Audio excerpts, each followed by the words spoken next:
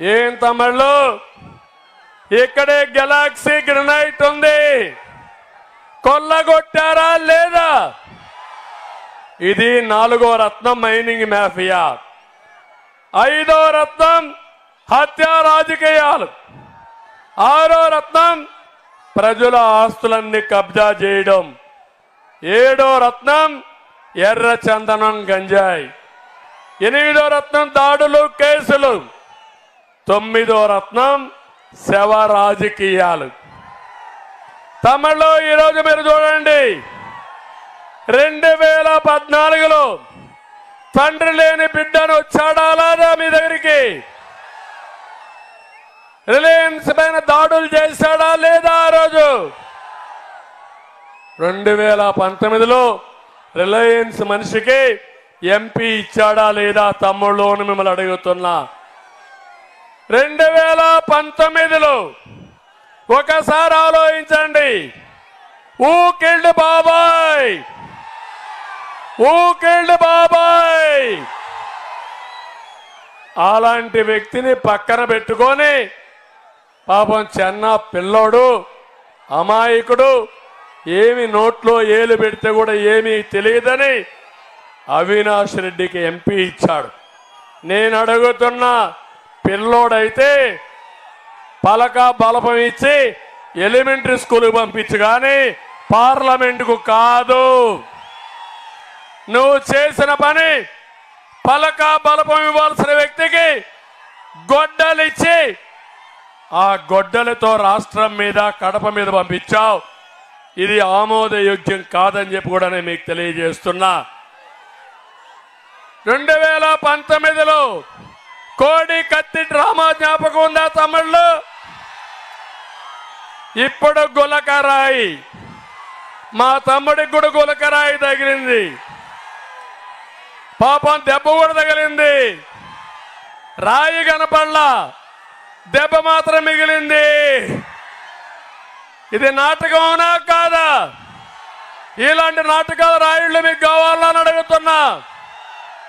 శవ రాజకీయాలు చేయడం ఇతనికి వెన్నతో పెట్టిన ఉద్య విద్య. నేను ఒకటే మీ అందరికి హామీ ఇస్తున్నా.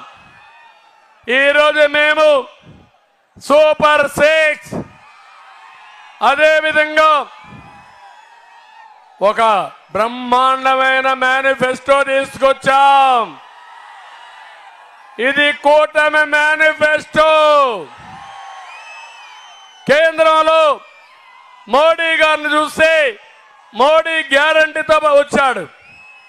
ఈ రెండు ఒకసారి పోల్చి చూడండి. జగన్మోహన్ రెడ్డి పెట్టిన మేనిఫెస్టో వెలవెల మన మేనిఫెస్టో గలగలలాడే పరిస్థితి వచ్చింది. నేను అందుకే ఒక మాట ఇక్కడ అడుగుతున్నా మిమ్మల్ని అందరినీ. తమ్ముళ్ళు పింఛన్లు. ఎవరు పెట్టారు పింఛను? రెండు వందల రూపాయలు రెండు వేల రూపాయలు చేసింది ఎవరు? ఆ సైకోకు చెవులోనా చెప్పండి గట్టిగా. గోమ పగిలేటికి ఒక దెబ్బన్నా కొట్టి చెప్పండి మీరు. నేను పెట్టానంటాడు అతను. నేనున్నప్పుడు రెండు వేల పంతొమ్మిదిలో రెండు వేల రూపాయలు పింఛను మీకు వచ్చిందా లేదా? నాటకాలు వేసేవాడు అబద్ధాలు కోరు అవునా కాదా? అబద్ధాలు కోరిని ఏం చేయాలా? ఏం చేయాలి? ఏం చేయాలి? భూస్థాపితం చేయాలా లేదా? సిద్ధం అవునా కాదా? తమ్ముళ్ళు వాలంటీర్లంట. నేనన్నా వాలంటీర్లు ప్రజలకు సేవ చేయడానికి పెట్టుకోండి కానీ మీకు రాజకీయంగా ఏజెంట్లు పెట్టుకోవడం కరెక్ట్ కాదు. న్యాయమాది కట్టే పని ఎవరు కడుతున్నారు? మనమే కదా కట్టేది. మన పనుల్లోనే కదా వాళ్ళకి ఐదు వేలు ఇచ్చేది అవునా కాదా? ఎన్నికల డ్యూటీలో పెట్టద్దంటే ఎన్నికల డ్యూటీలో పెట్టలేదు కాబట్టి పేదవాళ్ళ పైన కక్ష కట్టి పోయినసారి ఏప్రిల్ నెల మొదటి తారీఖున దగ్గర దగ్గర ముప్పై మూడు మందిని చంపేసి ప్రభుత్వ హత్యలు చేసిన వ్యక్తి ఈ జలగ సైకో.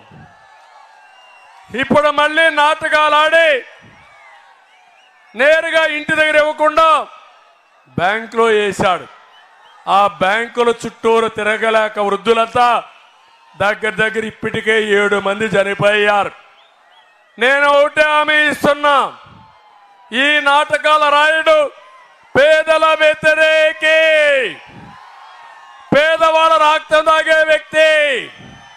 పేదలను చంపి తద్వారా ఓట్లు సాధించాలనేది ఇతని నాటకం.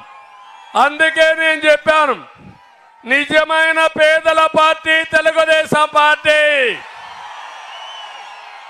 నిజమైన పేదల పార్టీ.